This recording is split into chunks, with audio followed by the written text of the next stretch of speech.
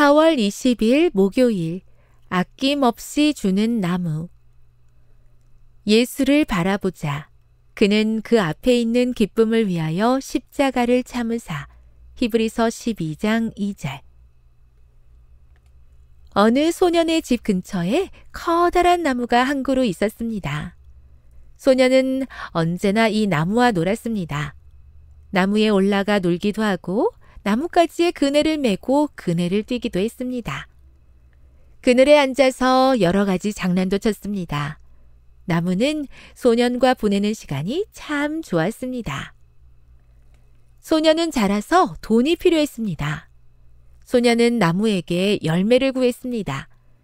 나무는 자기에게 있는 열매를 아낌없이 내주었습니다. 나무는 참 행복했습니다. 소년이 청년이 되어 집에 땔감이 필요했습니다. 나무는 말했습니다. 내 가지를 베어다가 불을 지펴 내 집을 따뜻하게 하렴.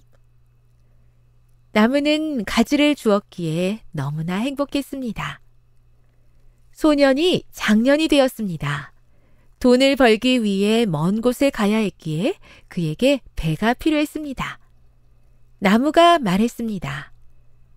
나의 몸통을 베어다가 배를 만들어서 타고 가렴. 소년은 나무를 베어 배를 만들었습니다. 나무는 행복했습니다. 멀리 떠난 소년은 한동안 돌아오지 않았습니다. 소년은 노인이 되어 집으로 돌아왔습니다. 그리고 나무 밑동에 걸터 앉아 쉬었습니다. 나무는 너무나 행복했습니다. 아낌없이 주는 나무는 우리 예수님의 모습이지요.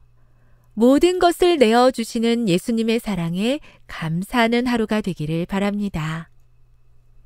재림신앙 이음 창원 새하늘교회 황세흠 진해교회 김주환 아가를 위해 함께 기도해 주세요.